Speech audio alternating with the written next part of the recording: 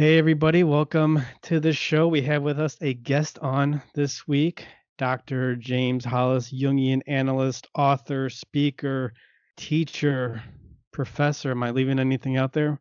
Well, I think that's sufficient. Right.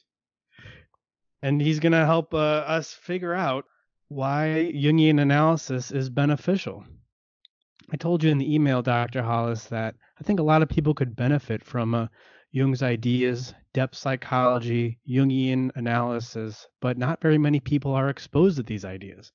No, sadly, that's the case. And um, frankly, in the interests of uh, expediency and uh, cost main- maintenance and so forth, um, much of the psychological world, as you well know, has sort of divided us into behaviors, cognitive processes, and pharmacological issues, and all of which we have and all of which we are, but you add them together, you don't equal a full human being. There's always something else missing. And um, I would go so far as to say so much of modern psychology, often driven by the need to appear scientific, and secondly, to um, you know serve with insurance companies and other external forces that have nothing to do with the uh, inherent health of the soul of the patient or the individual.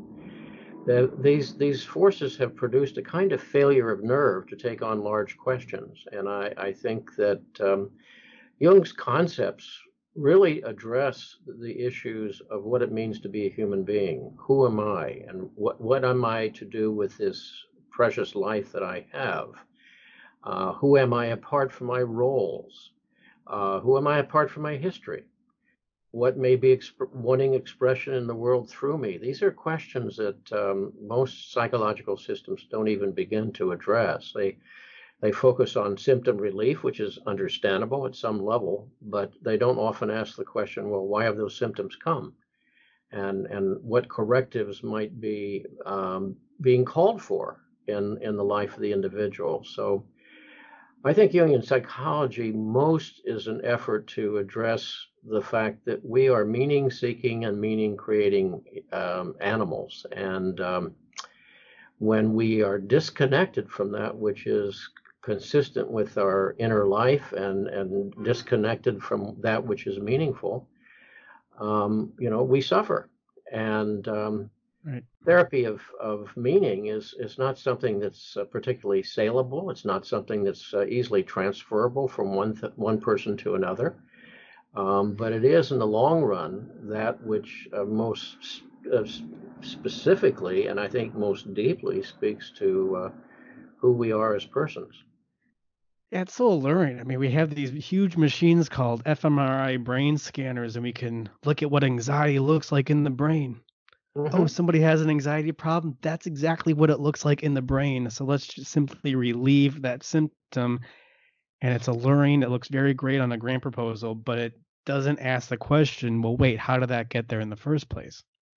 Yes, and and of course, how do I deal with that? Since anxiety is pretty ubiquitous, it sort of comes with the human condition. If if you're a sensitive human being, you're going to suffer anxiety and distresses, and mm-hmm you know, I, I think the question is how do you live your life in as full a way possible in the face of that anxiety? It's not like it ever fully goes away. I mean, obviously, we outgrow some anxieties, but others um, stay with us. And, and we need to understand that the anxiety is not the real pathology. The pathology shows up in terms of what it makes us do or what it keeps us from doing.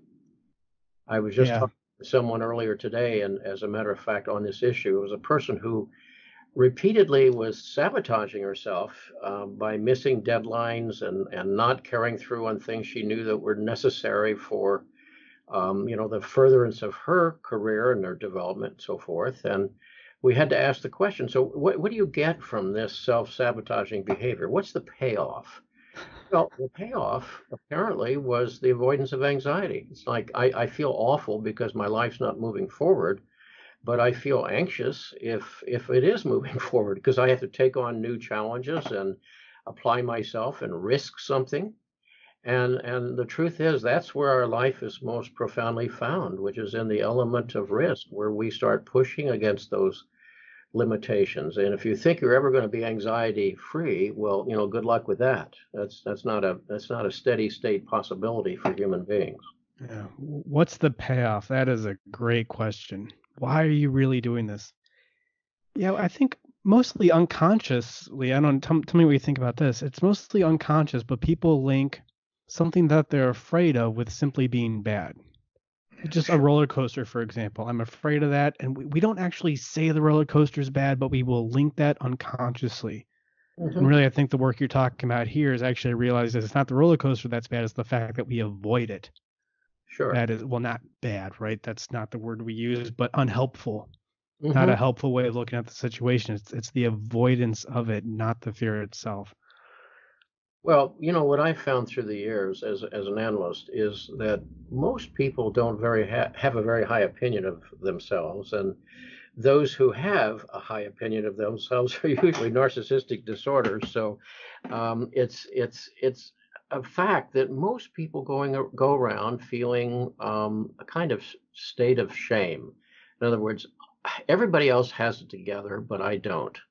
Everybody else knows what they're doing, but I don't. Now, how do I believe that or know that? Because I look at them from the outside, and they don't sit there and they necessarily tell me what their life issues are and how they're struggling but uh, I know I'm struggling, and I just assume others don't have these problems. So, if I'm the one with the problems, you see how easy it is to go to a position of shame, feelings of unworthiness, feelings of of inadequacy, and uh, constantly comparing oneself with someone else. And you know, the, the truth is virtually everybody is stuck inside their sack of skin and trying to figure out how do I best get through this day and how do I deal with these stresses and so forth. And uh, frankly, how do I hide that from others? So I, I think it's so important in recognizing that um, everybody you know is really struggling.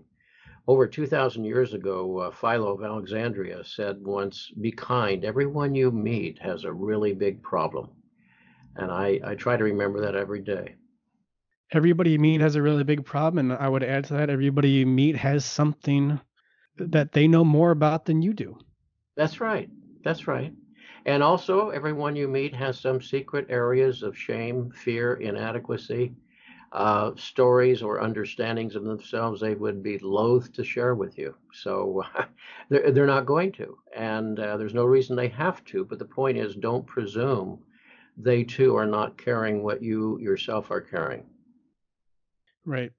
But I think to go back to what you were saying earlier, it's not the fact that you have the problem that you're struggling with with it's the fact that you don't have a great relationship with the problem for lack of a better term.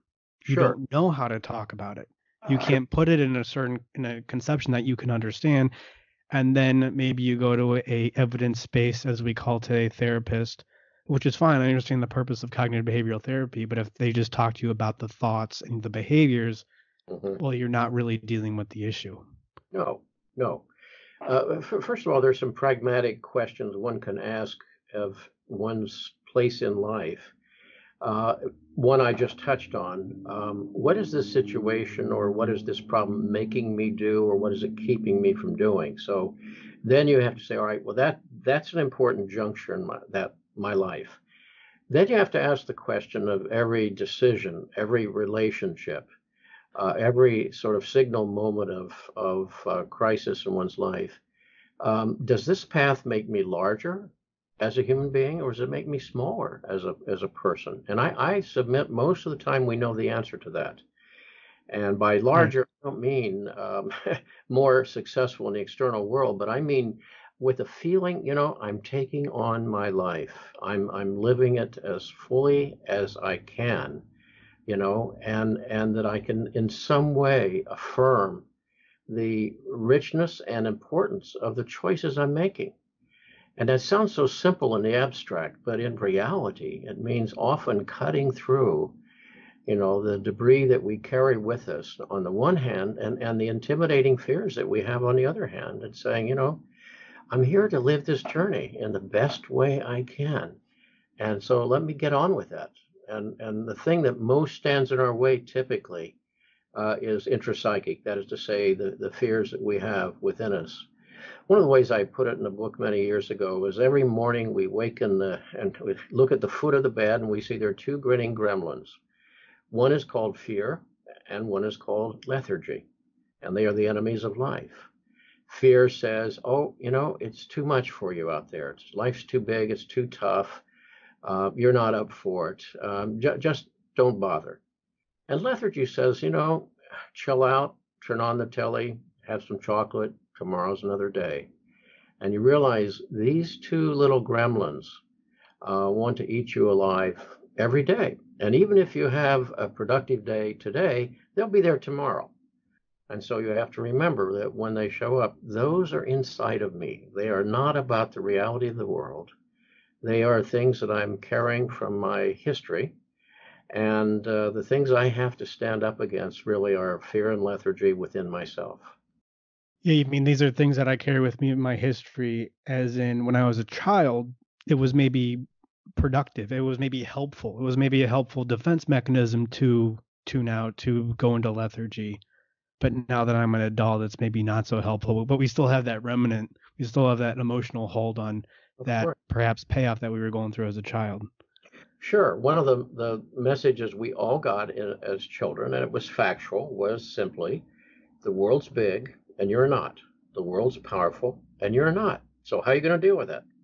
Well, we basically developed three defenses. The first line of defense, the most primitive, is um, avoidance. And we have many forms of avoidance, such as simple avoidance, procrastination, blaming others, um, and, and self medication, and so forth.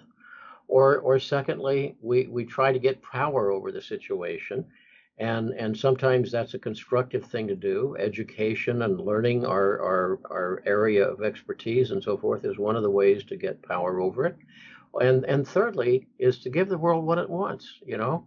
Uh, don't bother to find your path. Just see how you fit in and how you get people to like you and, and how you feel comfortable in your life now again those are primitive defenses but necessary for every child and the message we all learned that the world's big and I'm not is overlearned. And what it mm-hmm. tends to do is is when we face stresses, when we face choices, and we have that history activated, then we wind up in those avoidant patterns or those power complexes or those those compliance uh, behaviors. And in those moments, you know, we're literally pulled out of this world in this moment into an, um, you know where I once was, and no wonder we stay stuck. Yeah, well, I think if you want to talk about an archetypal holiday, New Year's might be one of them because I think it is to fight off that pull towards lethargy, towards oh I can put it off till tomorrow, or oh I have plenty of time. Tomorrow's not just another day, actually. Yeah, it's New Year's Eve. Tomorrow's not another day. It is a different year yeah. symbolic of the fact that your life is going away one year at a time. That's right. Well, it's certainly appropriate, um, you know, on a periodic basis to pull out and say what's going on here, and you know, does do I think that that feels like that's the right path for me or not? Mm-hmm. That said, um, you know, January 1st is just an arbitrary designation. It doesn't occur in nature. It occurs in human constructs. So you have to say, there's an ongoing accountability for how our life turns out. Every religious system there's ever been, every sort of psychological system, philosophical system, legal system has talked about accountability. Things happen to us, often grievous harm happens to us. But in the end, uh, most traditions, and I think most of us would agree, I am responsible for how my life turns out. There are many junctures over which I had no control, certainly, and sent me in one direction or another. But there are times in which, you know, it, it was clear to me that how I, I addressed that, how I ran from it, or how I got defined by it, those were the things that caused me to stay stuck and mired in some kind of of uh, old position. Yeah. Well, I, I think this will uh, lead into something I want to talk with you about. Is there there seemed to me to be ten years between you getting your PhD and studying at the Jung Institute in Zurich. Mm-hmm. Mm-hmm. And yeah. I was curious about that time in your life, and I'm I'm guessing something like what you just talked about happened. Oh, absolutely, sure, sure. My my early life was in academia. I was trained in the humanities, and um, I, I considered it a very rich preparation for the kind of work I do because in part the the study of the humanities is really the study of human nature, mm-hmm. and so what I learned there was certainly applicable in working with people later. But what I what I didn't find in academia was the any opportunity to address the question from whence do these things arise within us? We have many great forms of cultural expression and literature, Greek tragedy, the, the great religious traditions, art, music, and so forth. But w- what's going on inside? You used the word unconscious before. And by definition, we can't talk about what's unconscious because we don't know. You know, the problem with the unconscious is it's unconscious. But on the other hand, it, it's there. I mean, we keep realizing there's tons of operations going yeah. on in any given moment. So there are other governments at work within us at all times, for good or for ill.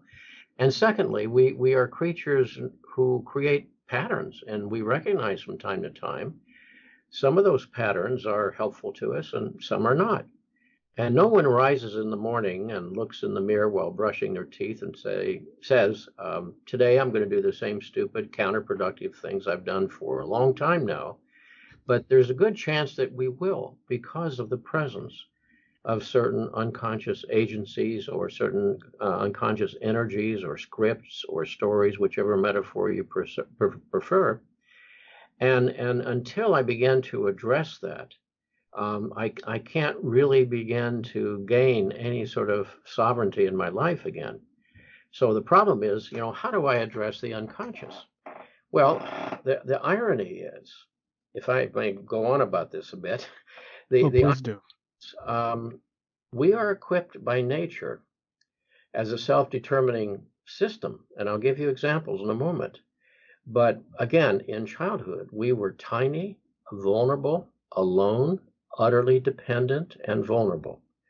And so our connection to these instinctual sources of guidance were always being interrupted by the need to adapt to, to, the circumstances around us, some of which were very close at home in the family of origin, some of them including the time and place into which we're born, the cultural influences, other influences such as poverty, disease, alcoholism, abuse, a thousand things that play a role and have so much power in the child's formative sense of self. Because every child tends to think at some level, I am what's happened to me. And that's how we get uh, defined or scarred at times by things utterly unrelated to us whatsoever. So, what happens then is we get separated from these instinctual sources of guidance. And, and what are those instinctual sources of guidance? First of all, is the feeling function. Now, on the one hand, it seems so obvious, but we need to remember something here, and that is the utter autonomy of the feeling function. In other words, you do not choose your feelings. Uh, they happen as a qualitative analysis registered by some other kind of locus of energy or center of intelligence within you uh, your choice from an ego standpoint is do I pay attention to them? Do I anesthetize them? Do I repress them? Do I project them onto someone else? Do I ignore them? Um, how do I pay attention? But if over time I really pay attention, in other words, I could be doing all the right things that I'm supposed to be doing as defined by my cultural milieu, I could be, uh, quote, successful in the outer world and be utterly miserable inside. The world is full of these stories of people who've done all the right things or all the expected things and inwardly feel um, that there's something aching, there's something missing in their life. And so their right. feeling function is telling them the truth. And, and as simplistic as it sounds, we need to recover a respect for the autonomy of the feeling function because, in the end, it's a qualitative analytic process that is autonomous. It tells you what is right for you and what is wrong for you. Secondly, we have energy. If I could just stop you there for a second before you go on, I just I just want to add, and it becomes very destructive when we replace our own feeling function with the feeling function of somebody else. Oh, absolutely. Like like we think, well, no, I am paying attention to my feelings, but really what you're doing is you're just using the nods of your boss, the nods of approval from your boss as a replacement for that. Sure. which may feel good in the short term, but then perhaps you get to middle age, maybe, maybe something you could speak on because I've know you've written about that. When then you get to middle age and you think, wait a minute, Sure. that that wasn't my feeling at all. I was actually avoiding my avoiding pain instead of pursuing what I really wanted. Well, and that happens at a, at a deeper level, of course, usually in childhood, where a child has to, in some way, manage his or her feelings in order to fit into its powerless state. You know, Right. you don't cross a parent, for example, without Mhm. kind of, of of cost. And for some, the cost is so high that after a while one becomes estranged from one's feelings. One can't even begin to take them seriously because it was at one point too risky.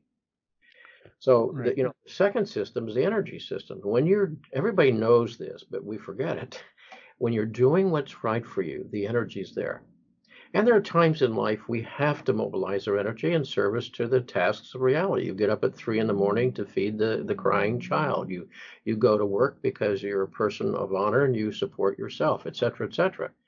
But but there are times over over the long haul when putting your energy in the wrong place leads inevitably, as we know, to boredom, ennui, um, resentment, um, self-medication, depression. And and again, this is the psyche's way of autonomously, and notice I've used that word autonomous again. In other words, we just can't will it away. Sooner or later, it creeps up on us. It's the psyche's way of refusing to cooperate. It's it's like a work stoppage. the labor force doesn't want to attend that project anymore. You your boss may want you to, or you may feel that you need to for some reason, but but the energy is not available. So again, when you have to say, I mean, I've Mhm. I've talked to depressed people before, and then suddenly their their whole mood shifts, their eyes light up, etc. And I said, now notice you're not depressed. Why? And they'll immediately fall back into depression. Oh yes, oh yes, I'm depressed. And the reason they weren't in that moment was because they started touching on that which really mattered to them.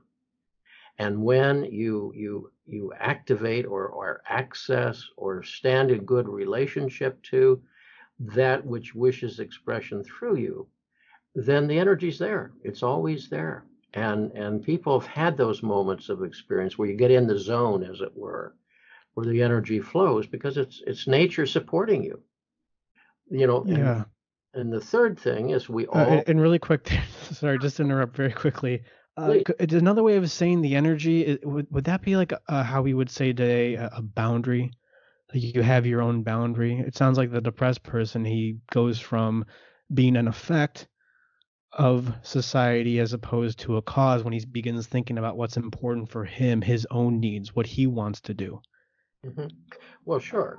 But, you know, again, as in childhood, our boundaries are constantly violated, and often in adulthood too. Well, we don't even have one when we're children, really. I mean, That's correct. it's just totally dependent. That's it. That's right. And and that's where we learn again, overlearn the the story of powerlessness. You know, Right. so the third system is is dreams. Now, most people don't pay attention to their dreams, but as a psychoanalytically oriented person, uh, we focus a lot on dreams because again, dreams represent an autonomous commentary uh, on, as to how our life is going as viewed from the perspective of that intrapsychic other, that other intelligence about which we know so little.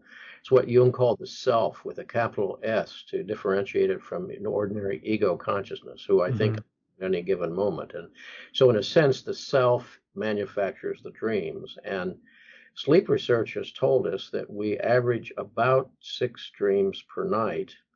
Um, and that's a lot of activity. Nature doesn't waste energy. And if you live to 80, six years of your life will have been spent in the dream state. And so it's so clear that in addition to processing the detritus of daily um, stimulus or stimuli, um, one one also finds that the dreams represent a commentary on how things are going, and they represent correctives and compensations. And I've I've often found in working with people's dreams that for the first time when they begin to realize in in so many words like holy cow, there's that dream is my dream. I can't deny that it's my dream. but it's it's speaking from another standpoint and it's telling me exactly what I need to know, or it's it's telling me what I was afraid to know, or it was it's telling where, where I need to go. And it's at that moment you begin to really begin the recovery of personal authority, which is the central project of the second half of life, which I'll talk about later maybe. But uh, dream, dreams are very important as a as a tool, and and fourthly is the most important of all and the least definable of all, and that that is again this issue of meaning. If what I'm doing has meaning, um, I can go through hell. I can go through an awful lot, and I do it willfully, even joyfully, because I'm rewarded with the richness of meaning. And as Jung said once, the, the smallest of things with meaning is always greater than the largest of things without meaning. So we have a culture which tells us what it means to be successful. And, and, and when you're not able to be successful in those areas, at least you can fill your life with material objects or anesthetize yourself or whatever. And you have to really ask yourself, right? is this meaningful? I mean, we suffer more from disconnects from meaning than any other single pathologizing source in our lives. Mm-hmm. And if, if, what I'm doing is meaningful to me, um, then then there's something inside of me that always supports me and gives that sense of the the worthwhile nature of what I'm doing. Otherwise, you know, our efforts are futile and merely repetitive and and frankly just burn out over time. And I'm guessing you would say the more that we pay heed to our feelings, our own energy or boundary, what we really want to do in our dreams, and that's how we would cultivate meaning. Absolutely. Am I putting it, words in your mouth? It becomes a byproduct of of living in right relationship. Yeah, these things build on each other.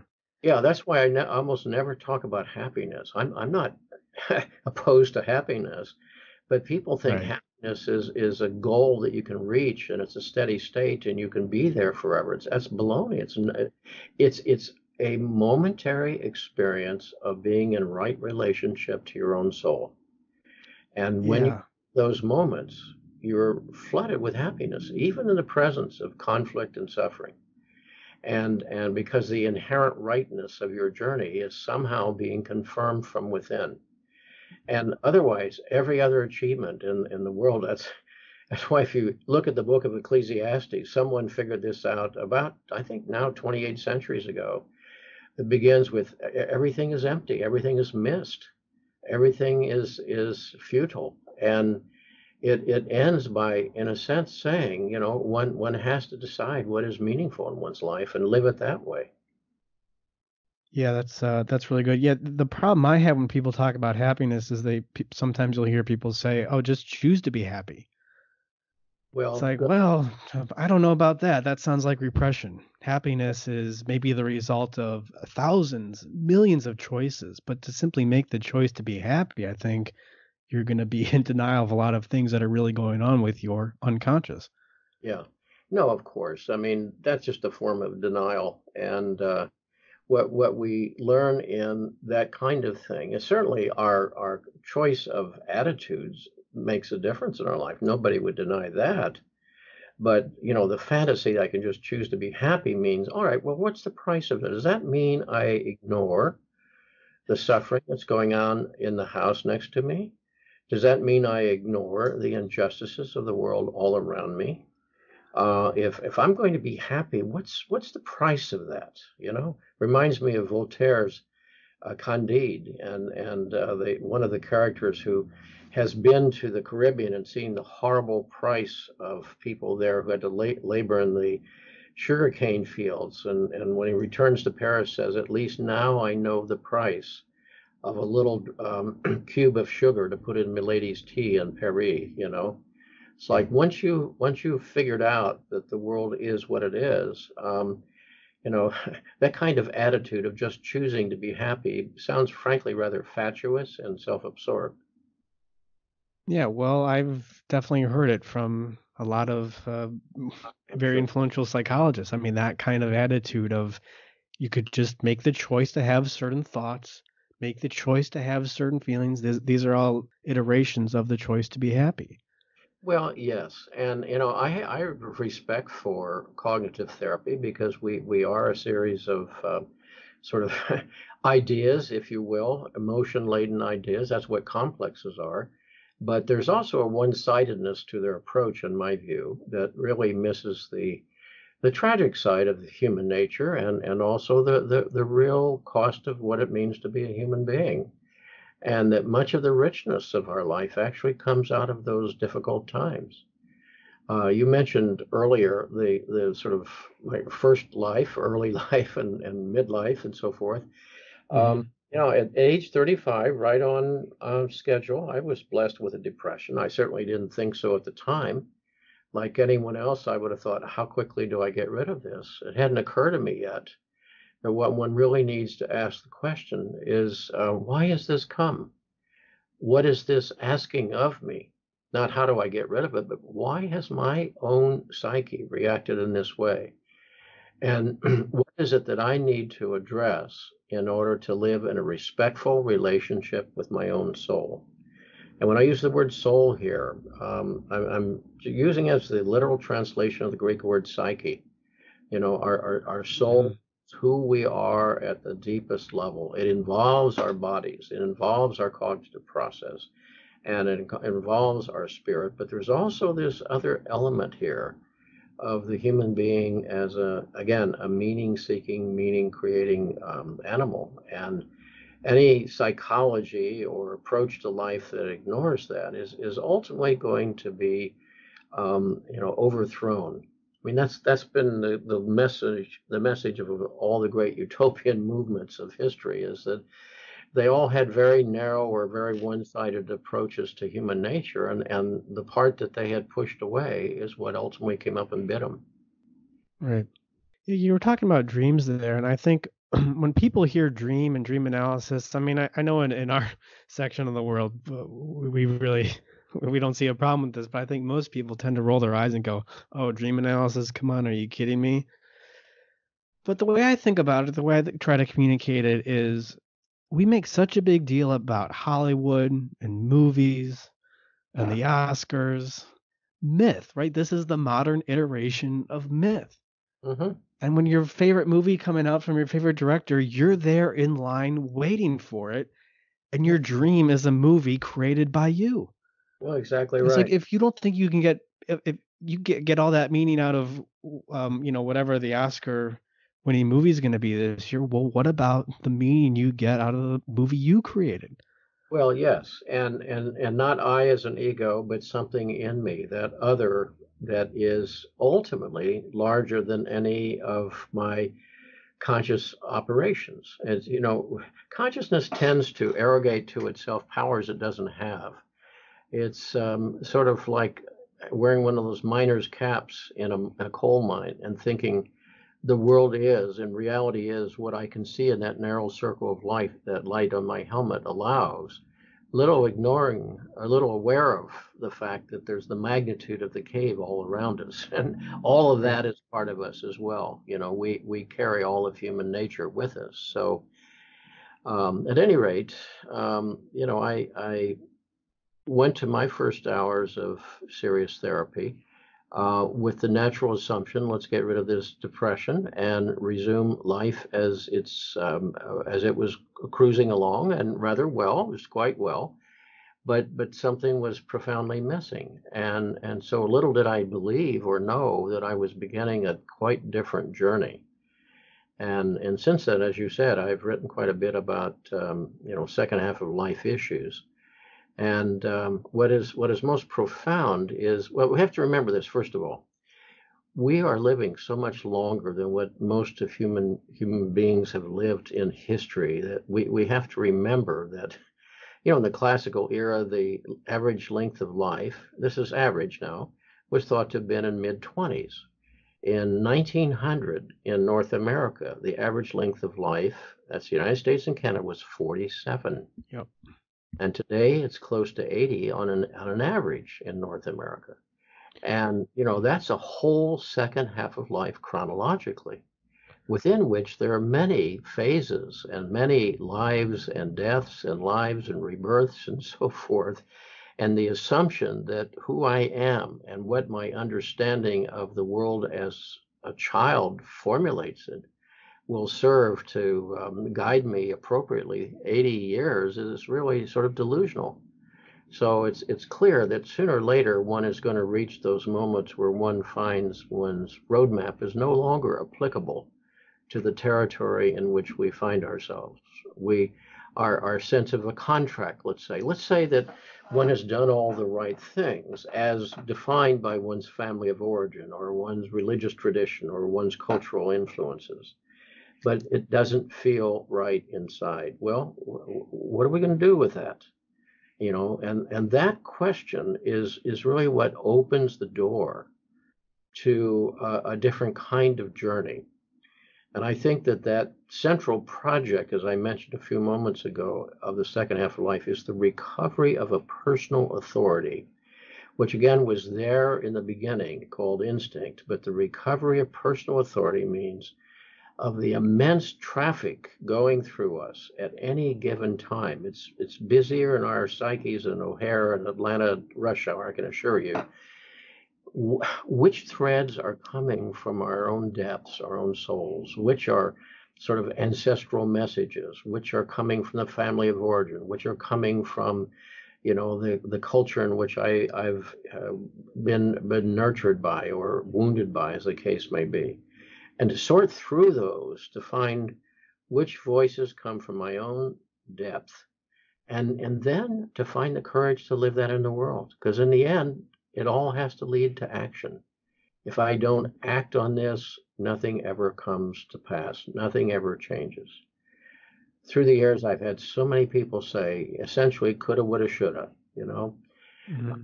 I always want to do this. Always want, and why didn't you? Well, well, there was this reason. There was that reason. There, you know, often good reasons. But in the end, those are the kinds of rationalizations that sour the soul.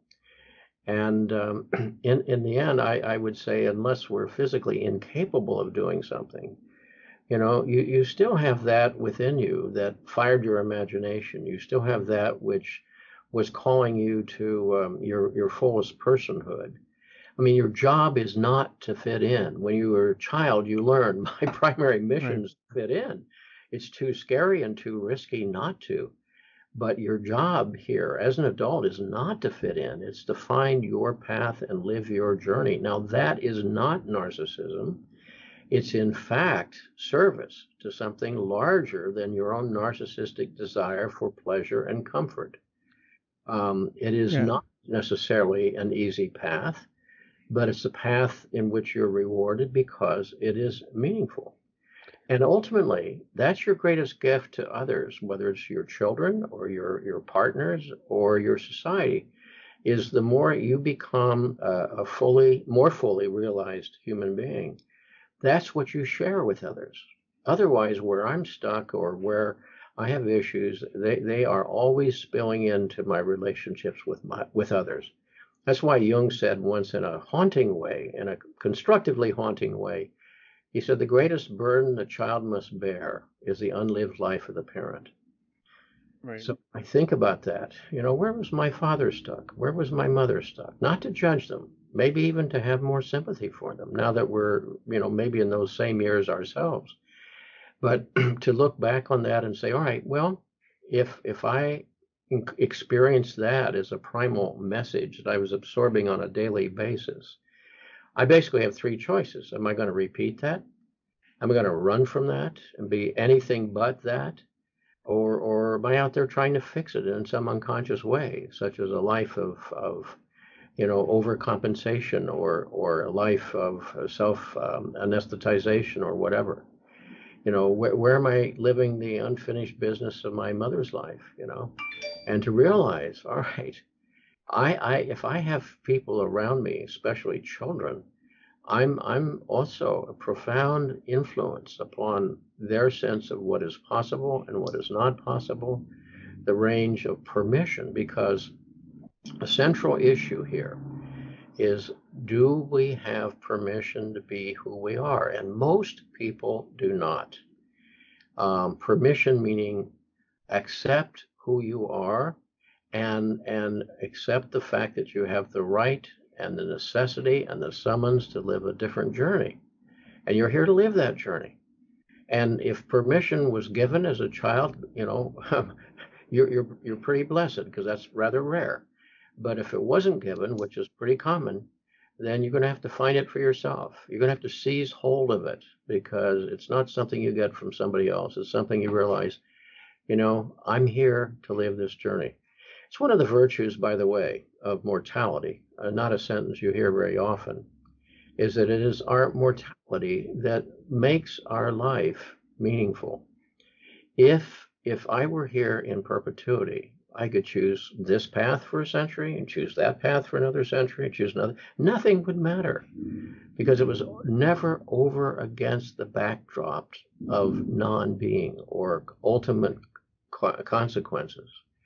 And it is because I'm mortal that I have to recognize this is a, a precious moment between mysteries.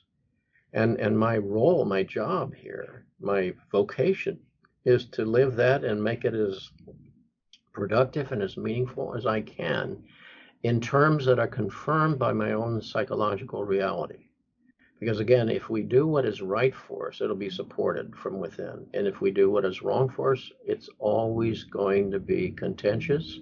We're always going to be at odds with ourselves. We're always going to be having to experience uh, one one crisis after another. Yeah, wow, you said a lot there. I actually just made a video about that today. The importance of contemplating, getting in touch with, becoming more comfortable with the fact that you're going to die and, and just some techniques to do that. Because, yeah, I think you're right. It places more meaning here in the presence and it really disabuses that whole notion of, oh, I'll get to it later or I'll do that eventually.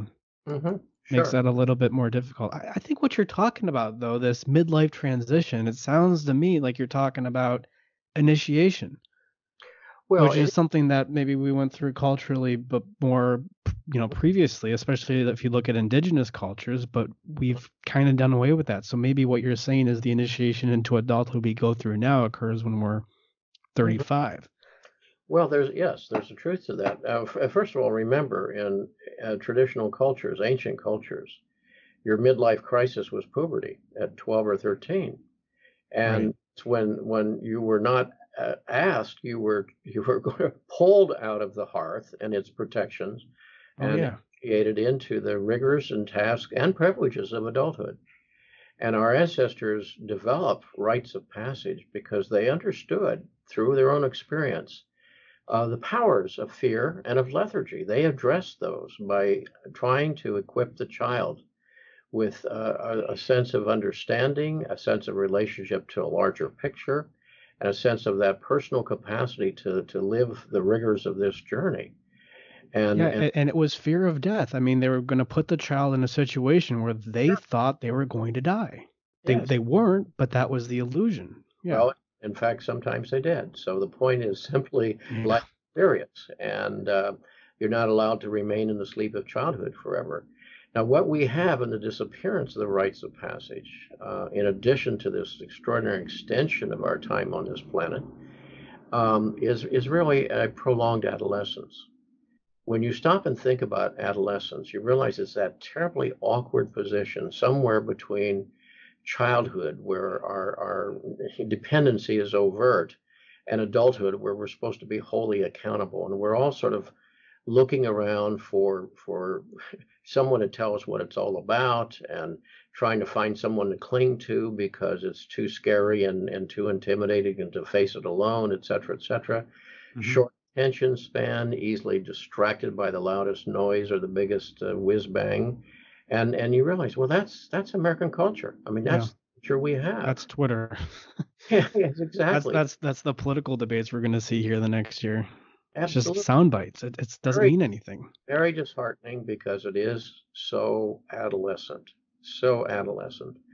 Rather than facing the tough questions any nation faces, the tough questions of balancing resources, making value choices, and speaking truth. And rather than that, as you as you said, we, we have the Twitter world, and and we have this world in in which there is this who can offer the greatest flight from reality and that's that's very depressing.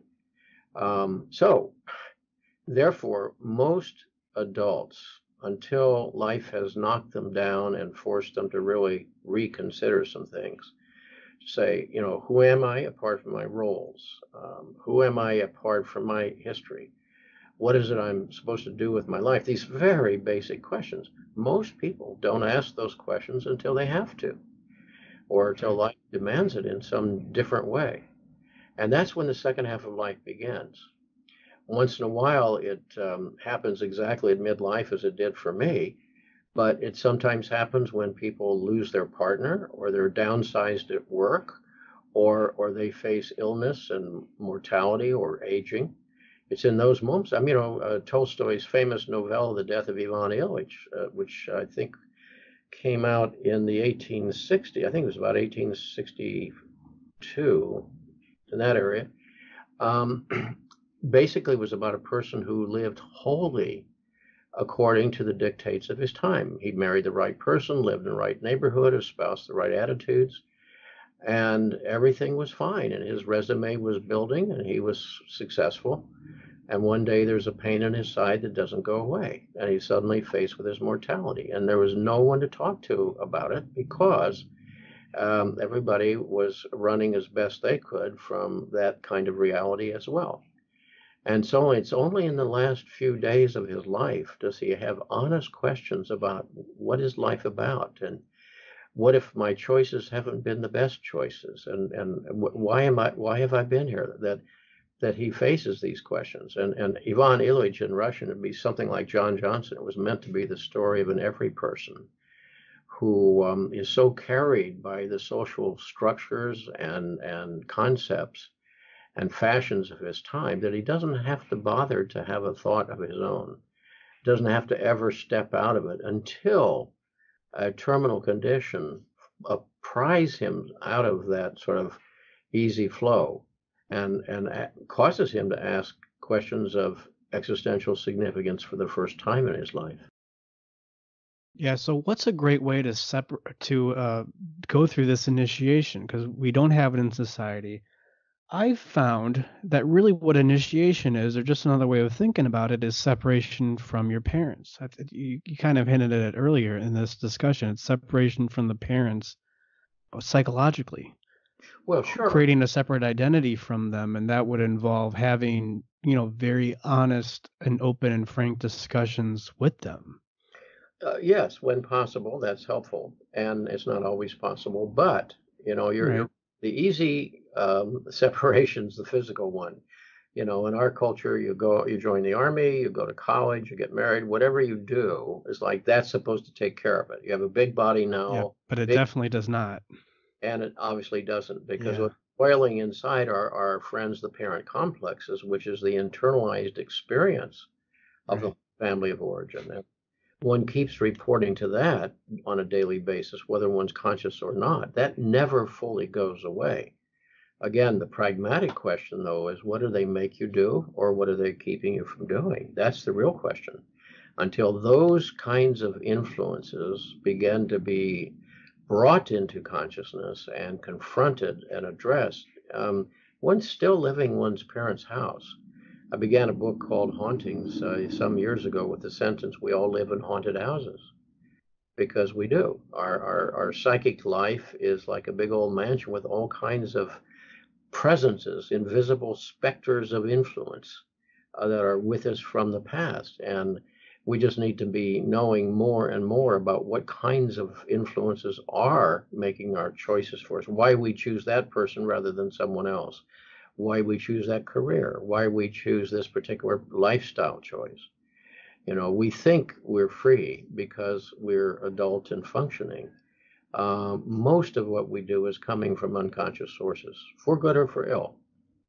So, what are some other good ways to separate from your parents? Well, recognize, you know, they were someone else's children, and mm-hmm. many of them didn't have access to the information and permission that you have today. Um, my parents, for example, their parents came from the 19th century. They were defined by social roles, very strong, fixed concepts of belief um, such as gender roles, you know, what it meant to be a woman, what you could do and what you couldn't do, what it meant to be a man, what you could do and what you couldn't do, um, social roles, ethnic roles, religious roles, racial roles, uh, sexual identity roles, and um, value roles. All of these things were thought by them. And I was raised with this to believe either they came from God or were in the nature of nature itself. And now we know those, those social constructs were in fact constructs, human made, and many of them have been deconstructed. That doesn't mean that the chaos doesn't flow in, in, in their place at times, but all, with that also comes the possibility of, of greater freedom. In other words, there's never been a time in history uh, that was better for, for a woman to be on this planet, given the, the oppressive nature of so many, uh, you know, gendered roles. Why are they so unhappy? I, I, mean, I know what you're talking about, and some of it is though based in, in nature, right? I mean, especially if we're talking about the biological differences between men and women, some of it is natural, but you are talking about just uh, opening up of what is possible. Yeah, I wasn't talking about biological uh, realities. I was talking about social constructs that are okay. on that. That's a, quite a different story. And when, maybe the reason why a lot of women are unhappy now is because, well, they they do have more choice. Well, and yeah. Without following an inner voice, as we've been talking about, then it just becomes overwhelming. Well, look, today's young woman and today's young man has greater freedom of possibility than any time in human history. Now, they may be intimidated by that, yeah. they run from that, they may not even know that, but this is a unique moment in history. That's mm-hmm. it. We have to have compassion for those who went before us because they were not only ignorant, ignorant so often, and I say it respectfully, but they, they also were victims of it. And if, if we're to free ourselves, we have to recognize those limitations and, and to realize, all right, and I have to define myself in terms that seem to rise out of my own nature, not necessarily the constructs imposed upon me, which are quite different things. Yeah, the structure in society has gone, it's been removed from the outside, which is good. Right? I, I agree. I mean, we've we've definitely come a long way, but we need to replace that structure with an inner structure. Well, sure. And I think that goes back to what you were talking about of paying attention to your feelings, right?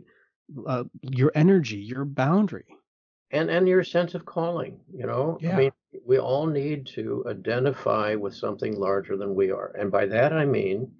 I mean, for many people in history, it was the, the tribal experience, the tribal mythos, if you will. Um, for many of us today, it's all right, what am I called to do with my life's energies in the fields of relationships, the fields of work, the fields of creative and spiritual life. I mean, what, what am I called to do uh, as an individual? And not to look over my shoulder at what somebody else is doing, which we all did in childhood naturally, um, but to say, all right, you know, where am I supposed to show up in this life, and and be present in a way, and and that kind of invitation and opportunity historically uh, has virtually never occurred in history before, except for individuals here and there. Yeah, totally new challenge. Mm-hmm. I think we often look at it and think, oh, it's a bad thing. Oh, no, there's nothing wrong with it. It's just, are we going to rise up and meet this challenge for what it is?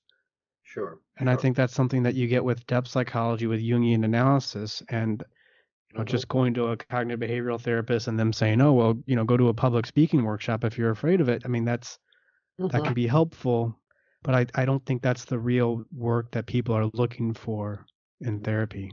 No. Well, and I, I sometimes think of, of depth psychology as, as really an effort to bring one's stories to the surface and to challenge them. And by story, I mean the interpretations of the world that we had as children, because they're, they're, they've been playing a formative role in our choices to, to, to bring those stories to the surface and to challenge them and to separate our journey from our stories. Some of our stories will be supportive and helpful to us. Some of them will, will, will be oppositional to our well being. And you have to sort through those stories. That's why I say I'm not what happened to me. I am what is wanting expression in the world through me and as I serve the life force. Mm-hmm. That's a whole different orientation. And, and it ultimately involves questions of meaning. And ultimately involves asking of that individual um, not just insight, that's important, but courage and persistence, you know, because nothing ever changes uh, without courage to face whatever life asks us to face and and doing it over time as best we can as often as we can.